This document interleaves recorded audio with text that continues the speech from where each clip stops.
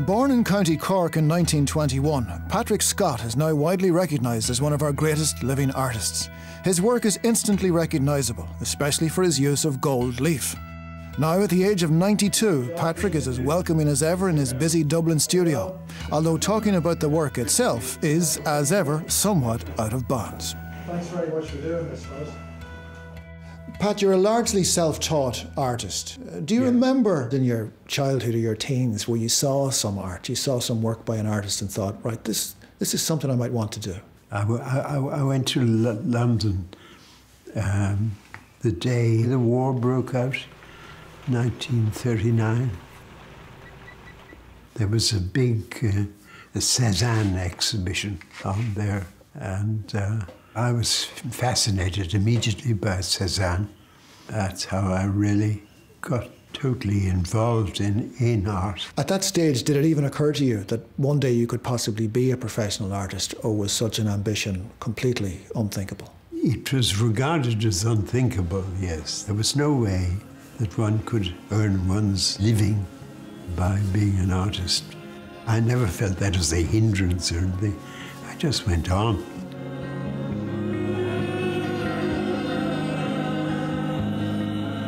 You spent a very long time in an architectural practice. I'm wondering, was that a fun time in your life, or was it a time full of frustration because you wanted to be doing your own work? Well, I, I, I worked with Michael Scott's office, you know, and uh, we worked on very interesting buildings. Um, was going on, uh, you, you know, and there was Four Provinces House. and that's where I met gold, actually. Oh, as early as that? Yes, that was where I met gold. Yes. Michael said to me, Would you ever colour in the arms of the four provinces? Uh, but it was a three dimensional one on it, and part of it had to have gold leaf. So I had to buy a little book of gold leaf.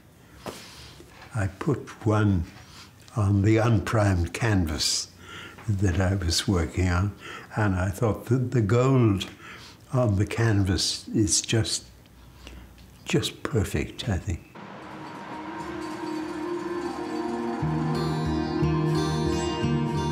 I think people think that that work began in the 60s, but this is a long time before that. Yes, yes, it must have been.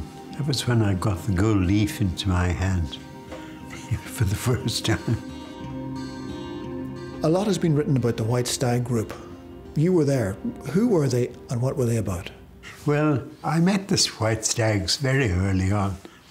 Uh, when I was very young, I mean, I was, when I was 19, I, I just saw this sign up in Bagot Street saying White Stag Exhibition.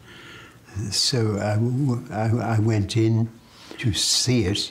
Any of them that were there came over and chatted to me and, and asked me along to parties and things, you know.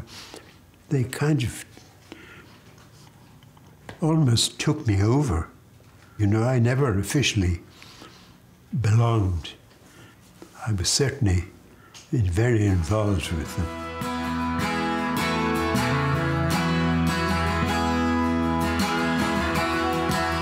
The art establishment at that time seems to have been very, very restrictive and they had a very clear idea of what qualified as art and what didn't.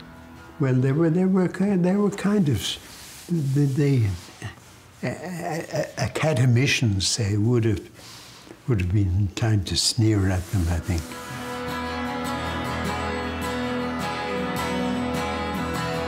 You said once that you had no aim in your paintings except your own happiness, that you had no desire to uh, explore great and deep truths or anything of that sort.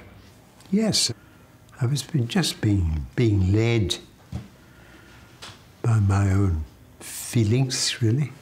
You've said your intention was just to be uh, led and to do what you felt like doing. And yet, you must be aware that people felt at the time, and still do, that your work is very spiritual. Well, that's kind of up to them. Call me. Why don't you just call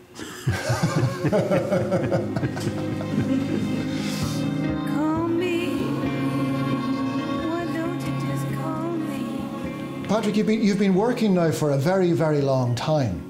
And Yeah. you have seen many fashions in art come and go. Yeah.